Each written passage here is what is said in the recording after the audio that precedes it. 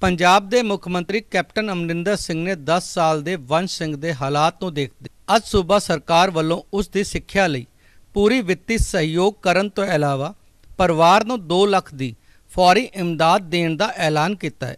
ਵੰਸ਼ ਸਿੰਘ ਦੀ ਆਪਣੇ ਪਰਿਵਾਰ ਦੀ ਸਹਾਇਤਾ ਲਈ ਲੁਧਿਆਣਾ ਦੀਆਂ ਸੜਕਾਂ ਉੱਤੇ ਜੁਰਾਬਾਂ ਵੇਚਣ ਦੀ ਵੀਡੀਓ ਵਾਇਰਲ ਹੋਈ ਸੀ। ਜਿਸ ਦੇ ਹਾਲਾਤ ਨੂੰ ਦੇਖਦੇ ਹੋਏ ਮੁੱਖ ਮੰਤਰੀ ਨੇ ਇਹ ਐਲਾਨ ਕੀਤਾ। ਰੱਖਣਾ ਰੱਖਦਾ ਜੀ। ਥੈਂਕ ਯੂ ਬਹੁਤ ਵਧੀਆ ਲੱਗਿਆ ਤੂੰ ਮਿਹਨਤ ਕਰਦਾ ਦੇਖ ਕੇ ਠੀਕ ਆ? ਅੱਛਾ ਤੇ ਤੁਸੀਂ ਪੜ੍ਹਦੇ ਕਿਹੜੀ ਕਲਾਸ ਚੋਂ? ਮੈਂ ਪੜਦਾ ਸੀ ਹਟ ਗਿਆ ਹੁਣ ਲੱਗੂਗਾ। ਕਾਤੋਂ ਹਟ ਗਏ? ਘਰੇ ਕਮਾਉਣ ਵਾਲਾ ਹੋਰ ਕੌਣ ਹੈ?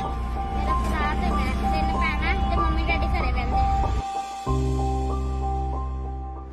ਦੇਖਿਆ ਸੀ ਤੁਹਾਨੂੰ ਤੁਸੀਂ ਉੱਥੇ ਆਪਣੇ ਪਰਿਵਾਰ ਦੀ ਮਦਦ ਕਰਨ ਲਈ ਤੁਸੀਂ ਜਾ ਕੇ ਟ੍ਰੈਫਿਕ ਲਾਈਟ ਤੇ ਕੁਝ ਸਮਾਨ ਵੇਚਦੇ ਹੋ?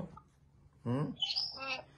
ਹਾਂਜੀ। ਪਰ ਬੇਟਾ ਹੁਣ ਤੁਹਾਨੂੰ ਅਸੀਂ ਪੜਾਉਣਾ ਜ਼ਰੂਰ। ਮੈਂ ਡਿਪਟੀ ਕਮਿਸ਼ਨਰ ਨੂੰ ਕਹਿਣਾ ਕਿ ਤੁਹਾਨੂੰ ਜਿੱਥੇ ਸਕੂਲ ਤੇ ਤੁਹਾਨੂੰ ਤੁਸੀਂ ਆਏ ਹੋ ਜਿੱਥੇ ਪੜ੍ਹੇ ਹੋ ਉੱਥੇ ਤੁਹਾਨੂੰ ਦੁਬਾਰਾ ਪਾਉਣ ਉੱਥੇ।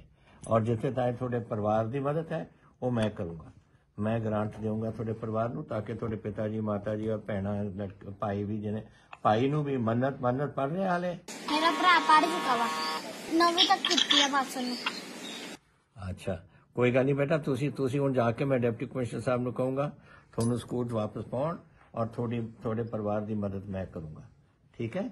ਤਾਂ ਕਿ ਤੁਹਾਨੂੰ ਪੜਨ ਤੁਹਾਨੂੰ ਕੋਈ ਔਖ ਨਾ ਆਏ ਪਰਿਵਾਰ ਨੂੰ ਔਰ ਤੁਸੀਂ ਆਪਣੇ ਪੜ੍ਹੀ ਪੜ੍ਹਾਈ ਮੁਕਾਓ ਤਾਂ ਕਿ ਤੁਸੀਂ ਵੀ ਕੁਝ ਵੱਡੇ ਬਣ ਸਕੋ ਅੱਗੇ ਜਾ ਕੇ ਜ਼ਿੰਦਗੀ ਦੇ ਵਿੱਚ। ਚੰਗਾ? ਅੱਛਾ ਬੇਟਾ। Bureau report press public.